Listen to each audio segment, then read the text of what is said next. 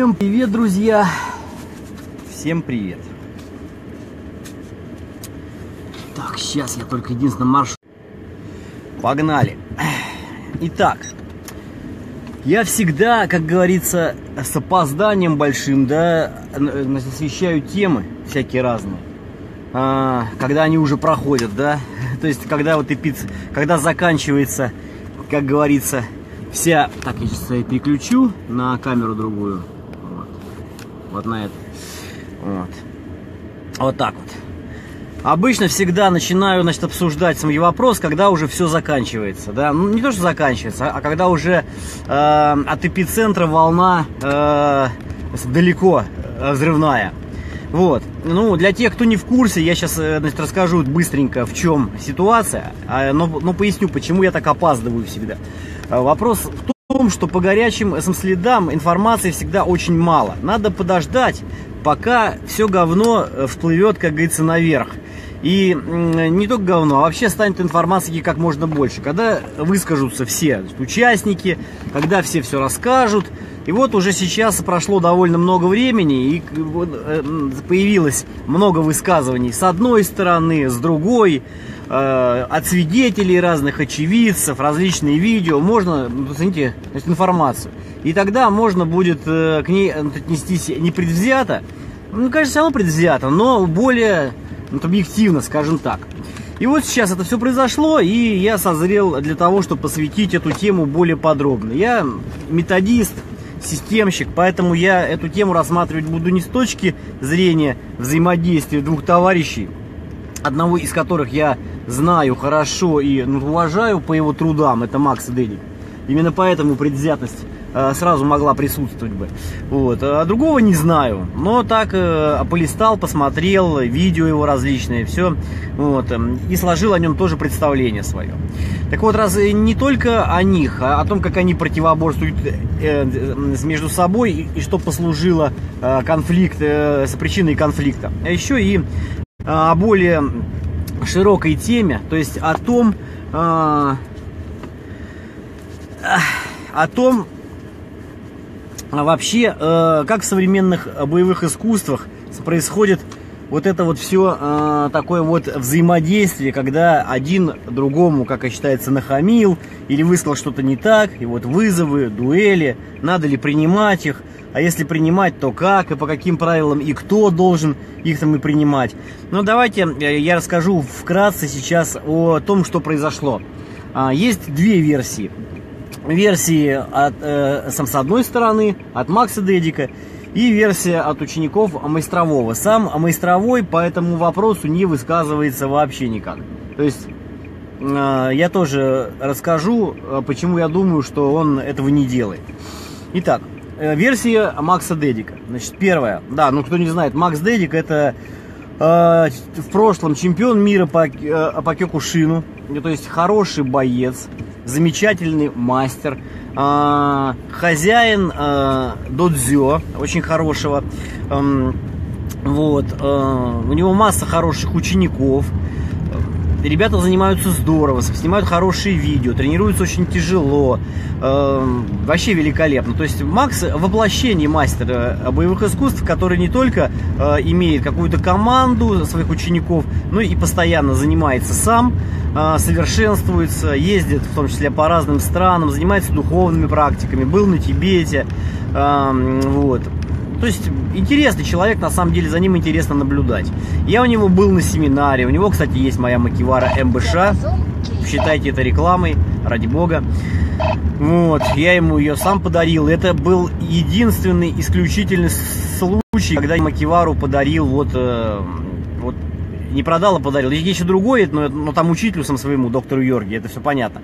А вот когда стороннему человеку, это единственный случай вообще в моей жизни, когда я кому-то Макивару подарил.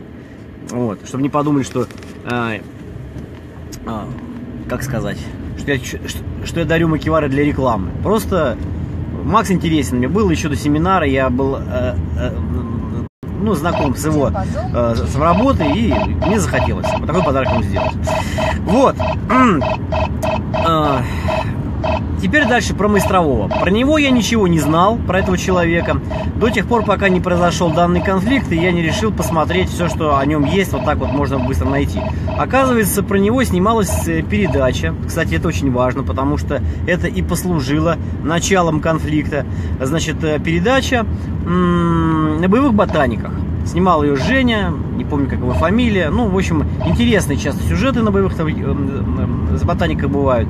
И вот эта конфликтная ситуация была и инспирирована Евгением, умышленно или нет, это никто не знает, но судя по тому, какие он дает интервью и насколько любит скандалы, и по его каналу Пекло, э, можно э, понять, что он гонится за хайпом именно для того, чтобы, э, вернее, способами скандальными. Вот. А, что это было за видео? Видео это было про школу, одну из школ Кинавского Гуджурю, не самая распространенная, не самая популярная, я даже ее название не знаю, хотя с миром боевых искусств, с миром карате знаком неплохо. Вот. Синдарю, по-моему, вот что-то как-то так, не буду врать. Вот. А, они себя, по крайней мере, позиционируют как Окинавское Гуджурю, но, э, насколько я почитал потом, э, есть ответвление в японское гуджурю. Ну так вот, э, человек начал заниматься мастеровой этот очень давно. Э, есть видео с ним, где он такой худенький достаточно, сейчас он такой массивный мужчина, килограмм за 100 с лишним, довольно большого роста, э, крупный такой. И что можно сказать о нем? Вот больше ничего, только что он основатель своей вот этой э, э ветви этой школы э, в России, потому что не похоже это на Токинасской Гуджирю, это похоже на рукопашный бой, ну реально. То есть э, там ничего, ну Токинавского, э, такого аутентичного, вообще ничего нет. Но если сам сравнивать, предположим, с окинавским Гуджирю, который, предположим, тот же самый э, с курилкой Богдан. У них есть аутентичные такие техники, характерные только для окинавского гуджирю. Здесь ничего особенного нету, все есть это и в шатукане, во всем. Но мастеровой позиционирует это как реальный, настоящий бой, показывая золотые какие-то связки, как он это называет, которые, ну, ничего там особенного, это и банальщину, короче, показывал и все такое. Но все это подавалось под таким соусом в этой передаче, что это вот настоящее, что ни Кёкушин, никакие другие стили, ничего, это они все не заточены по, самой под реалии. А вот у них, вот у Мастерового, вот это реалии, вот это вот да. Ну и, все это с таким с задранным кверху носом, да еще с высоты своего высокого роста, да еще выпитив э, вперед такой э, солидный пузик. Кстати, двигается неплохо он, вот что хочу сказать. Двигается он для, своего, для своей массы быстро, резко, понимает, что делает. То есть, по всей видимости, человек драться умеет. Э, и бить умеет, а учитывая свои габариты, может ударить очень сильно. То есть такой человек на улице реально представляет опасность. Но ничего сверхъестественного он не производит. Если его там ученики, предположим, а, которые поменьше габаритами э, и пониже ростом, а, они ничего абсолютно не сделают с э, там, бойцом ну, скажем, комплекции, который тоже хорошо умеет драться, но из любого другого направления и занимается спортивными направлениями. Знаете, вот Однозначно совершенно. Но это мое мнение, но я считаю, что оно правильное, потому что оно видно, суть движения. И опять же, э, посмотрел я их э, кумите, то есть как они дерутся, да, дерутся они вот что молодцы, они молодцы, они дерутся, ну как молодцы, так относительно, конечно, голыми руками, голыми руками в полный контакт. Но чем это их отличает, предположим, от того же Кои Кочергина? Ну ничем не отличает, точно так же. Даже я бы сказал бы, что у Кочергина-то это более по-зверски все дело выглядит. И более жестко еще. Ну, конечно, любая боевая система, которые занимаются системно, регулярно, методично, имеющая э, полноконтактные бои, однозначно приводит к результату, то, что люди не боятся драться, драться умеют. Вот, и все. Это делает их опасными. Все. И вот с этим я соглашусь. Опасно но не единственное. Вот понимаете, вот что все дело. И это, конечно, в какой-то степени задело Макса Дерика, наверное, потому что там э, было сказано, что Кюкушин это вообще как бы фигня, что это вообще нереально, все это Г, условно говоря. Вот. Макс это задело, потому что мастер, э, Макс мастер Кюкушина.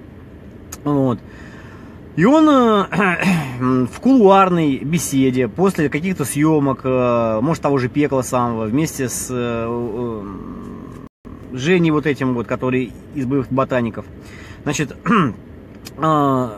высказался не называя ни школу, ни имя, ничего не называя вообще. Причем говорил он это не на камеру, Женя включил камеру, но видно, что включена камера была э, исподволь, потому что съемка это не специальная такая, это съемка кулуарная. Потом еще э, Макс говорит, что просил это видео не выкладывать, не давал разрешения, скажем так, чтобы его выкладывать. Вот. Женя хайпанул, когда выложил его. Просто хотел хайпануть. так вот, в этом видео, не называя ни стиль, ни направление, ни школу, ни конкретных людей, э, изображается э, некий человек, который рассказывает об реальном карате, о золотых связках, о том, какой он крутой боец и все такое прочее. Вот. Э, конечно, если посмотреть видео боевых самих ботаников, можно заподозрить, узнать в этой пародии того же Майстрового. Можно. Вот. Ну и вот. Но, я говорю, опять же, личных ну, упоминаний фамилии, имени нету вообще. Видео, конечно, такое жесткое, оно, оно прикольное, но оно прикольное по жесткому, такому по черному. То есть потому что там много матершины, но, понимаете, это же видео это э, записывалось не для широкой публики. Это, это вообще было не видео, просто это был э, такой экспром со стороны Макса. Ну и вот, проходит несколько дней к Максу в Дудзё э, во, во время семинара по Накинавскому Годжурю, и, который именно Курилка проводил, сам Богдан, и семинар Макса Дедика, приходят ученики Майстрового, это я рассказываю версию Дедика, приходят ученики Майстрового а, с целью попросить, а, вернее, заставить, а, ну, извиниться за, э, перед учителем самым своим, желательно на камеру. Это версия Макса Дедика. Вот. Э, Причем, э, опять же, по версии Макса, несколько человек записалось на семинар инкогнито, то есть они как бы пришли на семинар, а потом подключились, а двое пришли, чтобы просить прощения. Это лучшие там ученики этого ну, мастрового. Вот. Макс в вежливой форме, как он рассказывает, отказал, э, э, пригласил к себе в кабинет, не рассчитывая ни на какие конфликты.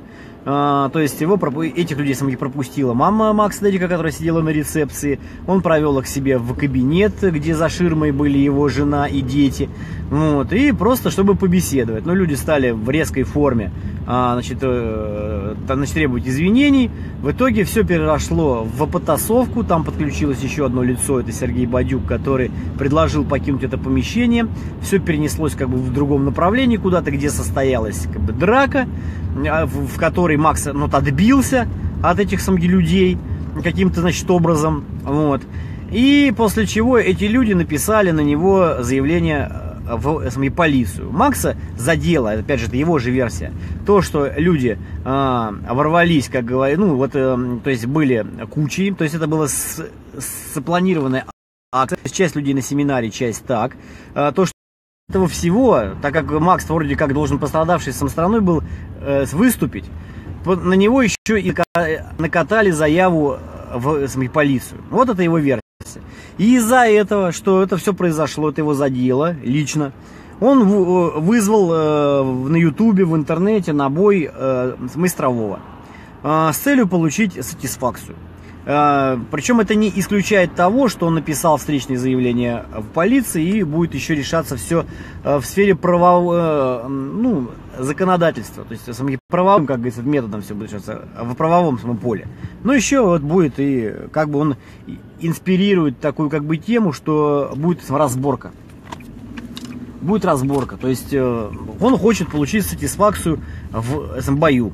Теперь версия учеников Самоемайстрового, которые тут же на это заявление Макса Дедика записали свое видео, интервью, да, серия там различных видео, где рассказывается следующее, что да, они действительно пришли, вежливо, очень аккуратно себя вели, корректно, прошли на семинар, что те люди, которые якобы со слов Макса Дедика записались на семинар, это вообще не их люди, и они это не знают, их было только двое, кто пришел. Они попросили, значит, извиниться. А, он не, не извинился, причем высказался грубо, нахамил им, а, потом убежал куда-то, прибежал с палкой, начал их избивать палкой, в итоге, а, значит, разни... они стали на него тоже как бы, ну, нападать, защи... вернее, защищаться, в связи с чем вынуждены были не просто руки подставлять под палки, а и попытаться там ударить Макса. Всех разнимал Сергей Бадюк, в итоге все переместилось какой-то, опять же, в другое пространство. Ну и на этом все закончилось, короче говоря. Вот. И они пошли в полицию, написали заявление, что на них было совершено нападение с палкой. Вот как бы вот такая тема. Вот. Все. И, значит, а в, а в ответ на вызов Макса Дедика а, появилось видео от одного из учеников Самогимайстрового, который говорит, значит, Максу, Макс, ты, ты типа чемпион мира, и я чемпион мира. Давай подеремся с тобой. Вот. Майстровой ничего не заявляет, не отвечает, вызов не принимает. Вот типа вот ученик, э, то есть э, складывается впечатление, что э, то ли его, значит, ученик сам хочет ответить за учителя своего, либо, значит,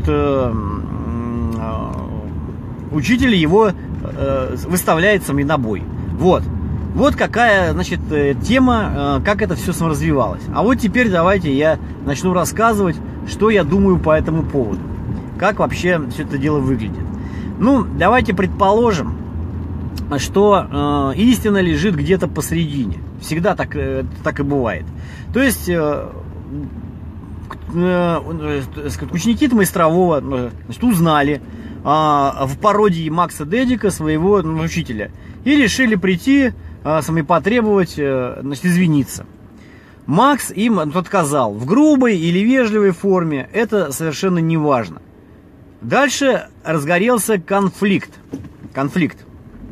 А, вот здесь очень важно, конечно, кто э, был инициатором э, реально потасовки, то есть э, самой драки. Вот здесь вот это э, э ключевой самый фактор. Кто затеял саму драку? Хотя могла сложиться ситуация, когда люди для того, чтобы сохранить свое лицо, вынуждены принять бой в любом самом случае. То есть э, и ситуация может зайти в, такую, в такое самое русло, когда э, непонятно, кто драку затевает, потому что она становится неизбежна.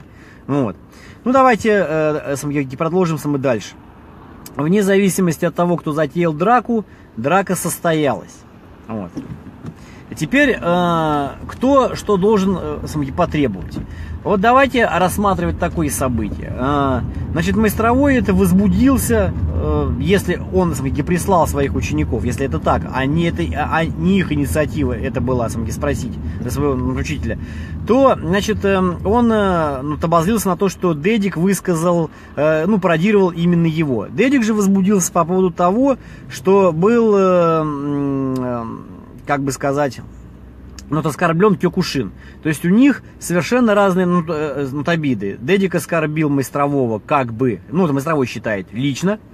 А, хотя я считаю, что тут оскорбления никакого нет, была пародия, но не указывалось никто, ничего, вообще никак. То есть ни стиля, ничего. То есть это трудно что-то предъявлять.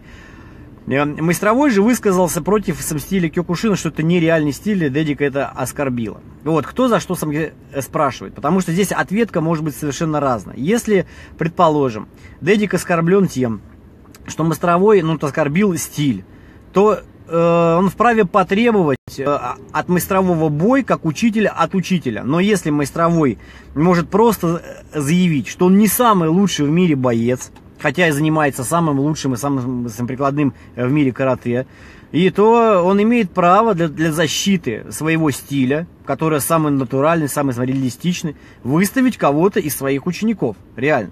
Но тогда и в этом случае и Дедик имеет абсолютно полное право для защиты стиля Кюкушина выставить какого-то бойца от Кюкушина, а не самому ну, отвечать за это дело, потому что здесь будет противоборство стилей а не противоборство людей. То есть люди отвечают за, э, за стиль. Вот. Если это так, то э, они могут выставить лучших учеников, э, лучших бойцов, которые согласятся.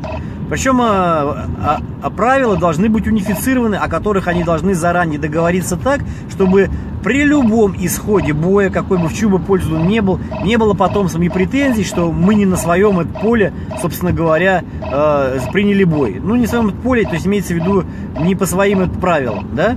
То есть это, наверное, максимально реалистичный бой должен быть, либо бой по правилам ММА, например. Ну, как-то вот так вот, когда можно практически все. Или по каким-то другим, когда вообще можно вообще все. И в пах бить, и там, не знаю, а, а в глаза тыкать. Конечно, это уже э, совершенно не в правовом поле, и вне закона будет такой-то поединок. Вообще вне закона. Но, как говорят некоторые карате, вне закона. Вот. И поэтому об этом поединке мы не узнаем ничего, если с, с кем-то из них что-то произойдет, потому что иначе другого тут же посадят. Если же они выйдут в ринг по каким-то правилам, то мы можем увидеть этот бой и все это понять. Но, учитывая то, что мастеровой не ну, отвечает и личный вызов не принимает, по всей видимости, он рассматривает данный конфликт, эм, готов, наверное, рассматривать его теперь, э, как конфликт между стилями. Но тогда совершенно непонятно, почему он возбудился на ролик, э, который пародирует, как он думает, его. Пусть и спрашивает тогда не за стиль, а за себя. То есть просто конкретно сам приходит к Максу и говорит, Макс, ты не прав. Он объясняет, в чем дело. И требует э, это самое, ну извиниться, нет, не через своих учеников и какого-то конфликта, а сам непосредственно. Вот. И тогда это будет вообще-то правомерно. Макс либо ну, извинится, либо нет, либо они найдут какой-то компромисс. Если не найдут, может состояться и, и э, поединок. Вот. Вот такая тема. А здесь, э, понимаете, все перепутали в одну кучу, это кисель. Что типа кто за что должен ответить? За стиль кто-то должен ответить или за человека э, за личное ну, оскорбление. Вот. Теперь э, э, по вызову от ученика э, мастерового. Е если во время конфликта, который состоялся у Макса в Додзё, э, этот значит, ученик понес ну, ущерб, а он там был, и его действительно побили палкой, и он вызывает на бой Макса, то тут, наверное, это правомерно. Хотя Макс может отказаться и сказать, да, я без палки вряд ли что могу с тобой самой сделать, я не самый крутой боец, поэтому все вопросы решаем в правовом поле, будем судиться. Только так и никак иначе. Драться не готов. Если тот затевает драку, они дерутся. Все. Но никаких вызовов можно не принимать, и это будет все нормально вполне. В конце концов, любой мастер любого стиля карате не обязан быть самым лучшим бойцом в мире. Он мог им когда-то быть, или может еще им стать, или может быть настоящий момент, но это вовсе не значит, что это надо постоянно кому-то доказывать по первому зову. Вот. Вот таким вот образом. Вот. Поэтому Макс может бой как принимать, так и не принимать. Теперь о том, как это все бывает. Понимаете, э, давайте довернемся. Э, люди, если это конфликт стилей, люди выставляют друг против друга бойцов. Вот. Э, самых лучших они считают от одного стиля и от другого. Но, понимаете, уже был опыт и показывала практика не раз, что в таком конфликте чаще всего обе стороны противоборствующие выставляют не своих э, бойцов и не бойцов даже своего стиля. А знаете, кто э, э, с наймитом своим выступает? Обычно это либо рукопашники, либо художники, либо бойцы ММА, что чаще всего, которые как-то рядом находятся и берут уроки, предположим, по каким-то направлениям у этих мастеров. Потому что эти мастера действительно могут э, ну, обладать какими-то хорошими знаниями и каким-то пониманием в области какой-то конкретной темы. Ну, это вот, как предположим, у меня занимаются люди, которым я ставлю там удар и занимаюсь э, подготовкой, ну, укрепление э, там, ударных самих поверхностей. Меня, например, на бой вызывает какой-нибудь мастер, там, какое-то направление, говорит, твоя школа там говно, хотя я даже не знаю, какая у меня эта школа, да, ну, Фудакан, например, не знаю, потому что я Фудаканом занимался всю жизнь, вот. А, я хочу доказать, что Фудакан говно, а я там, это мастер Кёкшинкай, вот. И вот э, я не позиционирую себя как супер-пупер бойца. Я, я понимаю, что я чемпиону мира или даже какому-то мастеру самге спорта по кюкушину, по правилам кюкушину уж точно проиграю вне всяких это вопросов. Или то же самое по боксу, да, например. Вот, потому что у меня компетенция другая. Я могу поставить этому человеку там удар, ну, как из пушки.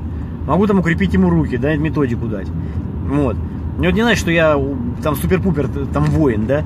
Вот, ну, боец, там самый лучший там тем более по спортивным правилам. Вот. Неужели же я буду принимать это, это, это ну, с вызов? Но так как вызов будет тянуть не мне, а стилю, то я должен буду там искать лучшего какого-то бойца. Ну вот. А окажется, что в Фудокане, предположим, ну, мало бойцов, которые там готовы драться по там унифицированным правилам со всей борьбой и всем прочим, 50 И у меня в секции просто, где я занимаюсь, у меня занимается человек, который является чемпионом мира по, ну, значит, ММА. Я говорю, он у меня занимается, значит, ученик мой. Вот давай с моим учеником делись. я выставляю там ученика своего, который является мастером спорта международного класса в ММА. Против этого. И кто побеждает. И что это вообще доказывает. Ученик мой, да. Я могу даже нацепить на него лейбл Фудокан. Но это так и в обратную сторону бывает. Я такое уже видел не раз, и такие-то конфликты были, когда в итоге конфликтуют между собой два стиля, а для того, чтобы доказать э, там правоту какого-то из них, э, оба, оба стиля или, или один из них выставляет бойца вовсе не своего стиля, а просто контактника хорошего международного класса. И тот реально побеждает и как бы, как бы доказывает, что стиль его там самый лучший. Понимаете, это вообще, ну, параша получается полная. Понимаете, ни, ничего не доказывает. Во-первых, это, это доказывает просто позорище того, что э, ни один сам, чистый стиль когда доходит дело до реалий, не способен выставить серьезного бойца, который по унифицированным э, там правилам, они чтобы уверены были, ну, победит, потому что они же искусством занимаются все. А ММА это говно, но когда дело доходит до драки, вот они это выставляют вот таких бойцов. Потому что те реально умеют драться. По любым правилам и как угодно. И, как правило, не отказываются, потому что у них еще и дух очень хороший, сильный. Вот. Знаете идею, да? Вот. Поэтому это просто ну, признание того, что однозначно, о чем, о чем я все время говорил, что ММА унифицированный стиль, к которому придут все стили боевых искусств, и пришли бы уже давно, если бы от реального боя зависела жизнь. Вот так вот. Вот, вот так это получается. Ну и вот. И как развивается конфликт дальше Дедика и Майстрового? Значит, э, один бросил вызов напрямую своему, значит, э, вернее, бросил вызов напрямую, ну, э, так, обидчику стиля. То есть Дедик бросил вызов самому мастеровому, а, оскорбившись на а, то, что тот оскорбил стиль. Это раз, это первая версия. Вторая версия, он оскорбился лично, потому что ученики мастерового самги пришли и затеяли потасовку, или э, не затеяли, но, короче, из-за них самки случился самки конфликт, из-за которого теперь э, и в правовое поле перешли вопросы, то есть там еще и судебное разбирательство возможно будет, потому что есть заявление в милицию и с одной, и с другой стороны, это раз. И мама у Дедика в шоке, э, то есть задеты ее самочувство личное, Дедик относится к этому щепетильно. Также жена и дети принимали, видели э, конфликт для Дедика, это неприятно, и тоже поэтому он э, вызывает майстрового на бой лично, вот из-за этих самых вещей.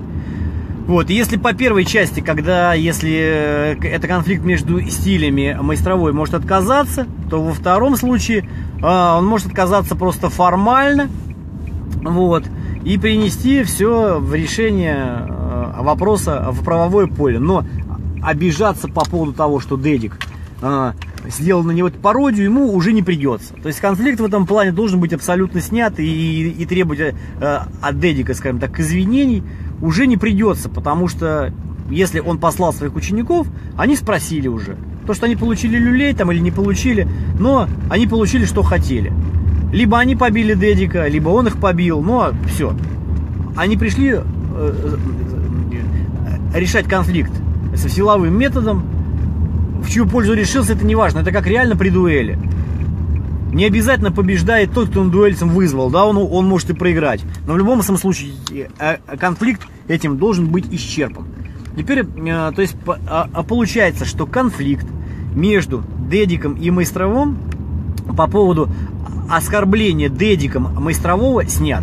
Теперь, а, а теперь остается ну, оскорбление э, Майстровым Дедика. Тем, что неадекватная была э, как бы эта тема. А, что, что, что задеты были свои третьи лица. Но здесь можно сказать, что тут то же самое. Так как потасовка состоялась все-таки, значит все. Значит конфликт исчерпан. И значит остается конфликт между стилями. Между стилями я уже рассказал, как это решаться может. Это могут быть выставлены там ученики, действительно, если ни один из них или один из них не готов лично выступать э, как лицо и лучший боец стиля, принимать вызов от имени всего СМГ стиля. Теперь конфликт между учениками Майстрового и Дедиком. А, между вывоз, вызовом одного из учеников Майстрового, то, что он значит, вызвал э, Макса Дедик.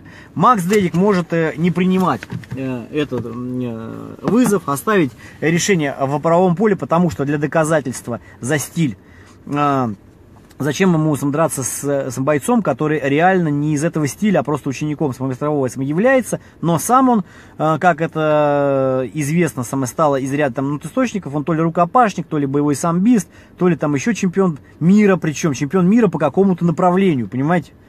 Он, сам об этом говорит, я тоже чемпион мира. Понимаете идею? Нафига защищать свой стиль, свое направление э, с человеком э, э, между, между стилями, между Синдерю и Кёкушином, с человеком, который не из Синдерю. Это если между стилями.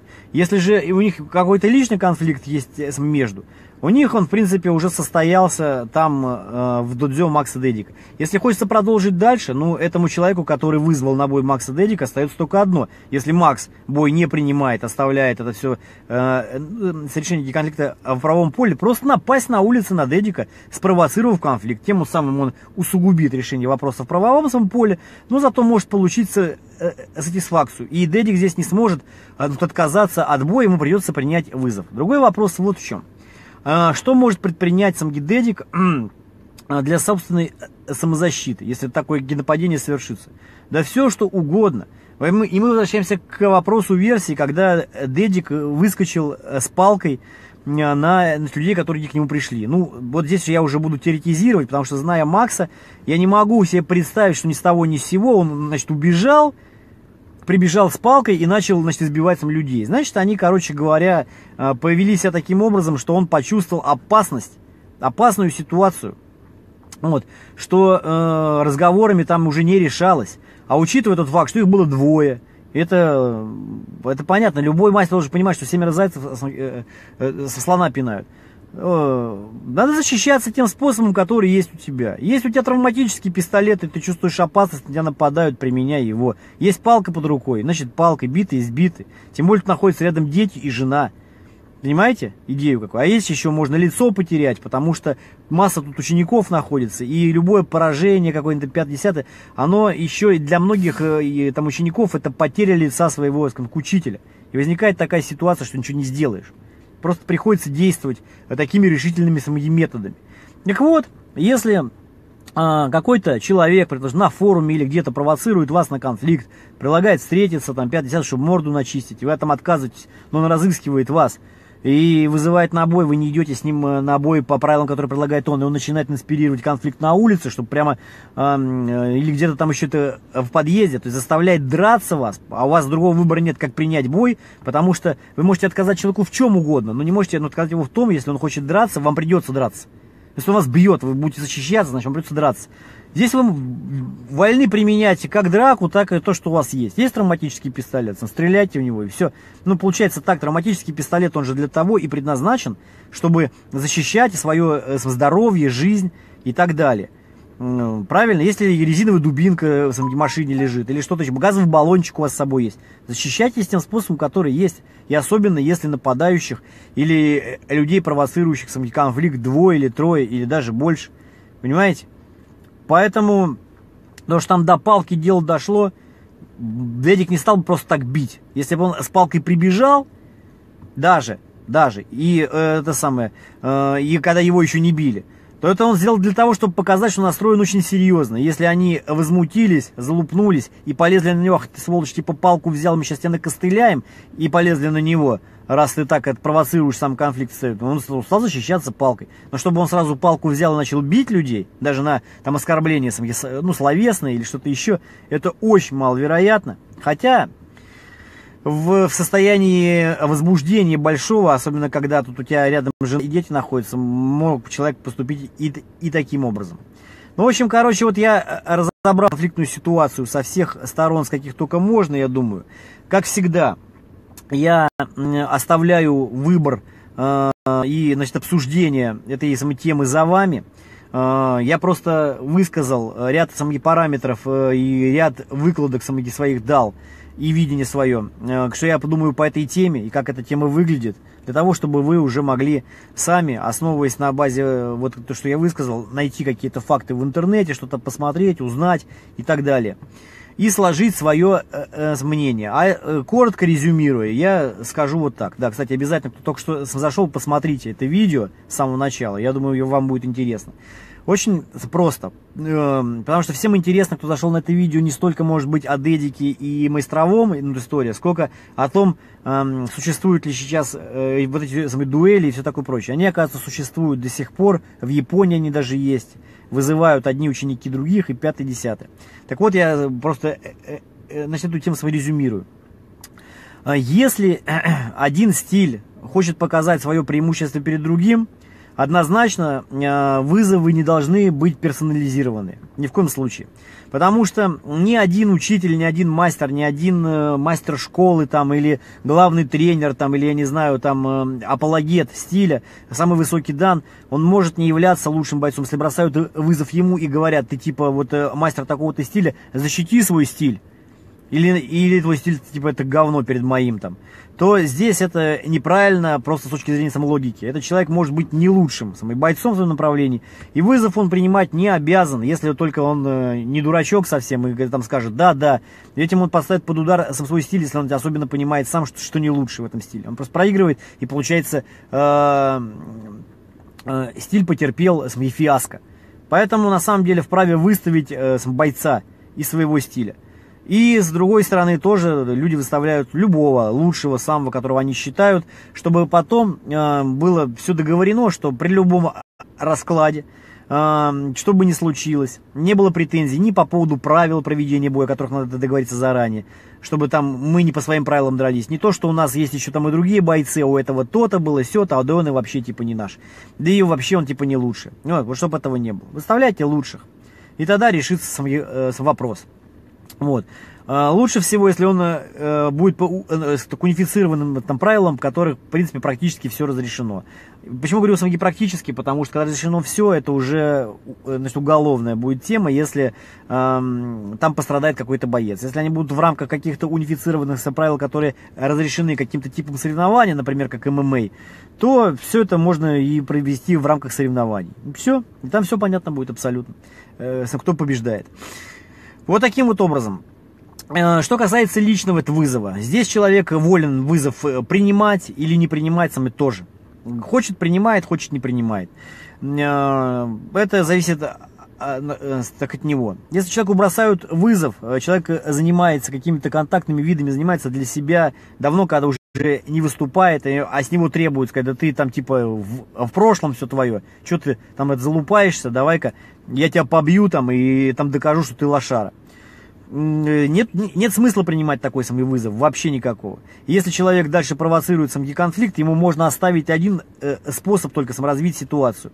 Это э, напасть на вас, понимаете, другого быть не должно. Напасть на вас, ну тогда вы вольны применить любой способ самозащиты, который сочтете нужным, вплоть до применения там оружия, если у вас есть право на его ношение, э, их сохранение. Ну все, и нечего, нас напали, вы защищались.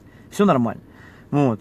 Хотите, а хотите, принимайте вызов. По, а, а, причем а, по правилам, а, с дуэльным, по любым. А, вы вправе а, выбрать, по каким самим правилам а, вы будете принимать бой. В перчатках, без перчаток, там, по правилам ММА или карате или бокса. Это вы уже решаете сами. Если вы этого хотите. Знаете, а то иначе до ну, абсурда довести можно. Какой-нибудь чемпион будет вызывать и, там, и, там, человека, который уже не выступает 10 лет и занимается для себя по правилам, это по спортивным. Хотя на улице еще не ну, известно, кто кого победит, потому что человек может заниматься прикладухой всю свою жизнь. Вот такой тоже момент. Опять же, вернусь, что касается вызова между самгистилями. Опять же, здесь э, нужно обязательно провести проверку того бойца, которого считают самым лучшим. Этот боец должен явно быть Э, там, учеником этого направления. Это должно подтверждаться всеми разрядами, участиями в соревнованиях, его всей жизнью и все такое прочее. Чтобы не было такого, что это просто какой-то наймит, легионер и так далее. То есть э, там боец из другого направления, э, но, обладающий саморегалиями мастер спорта международного класса. Получится, что никакой защиты стиля здесь нет. А это два человека, там, предположим, которые там кинули вызов сами друг другу, будут, э, будут решать э, конфликт с чужими руками. Ну это просто бред вообще собачий. Это что за собачьи ставки такие? Понимаете? Вот такого быть не должно. Ну все, жду вашего мнения. Мне будет интересно то, что вы напишете, если будут отзывы. Кстати, вот это видео будет обязательно загружено на live-канал на ютубе еще. В записке, также, также оно будет на моем основном канале на ютубе, в записке на манжетах, с кимоно, э, в, э, с плейлисте. И на live-канале будет. Так что обязательно. Э, да, и на буду блоге будет значит, обязательно. www.budublog.ru Обязательно зайдите, посмотрите, оставьте свои отзывы, оставляйте здесь, оставляйте свои мысли, пообщаемся, интересно подискутировать будет. Ну, все, всем пока.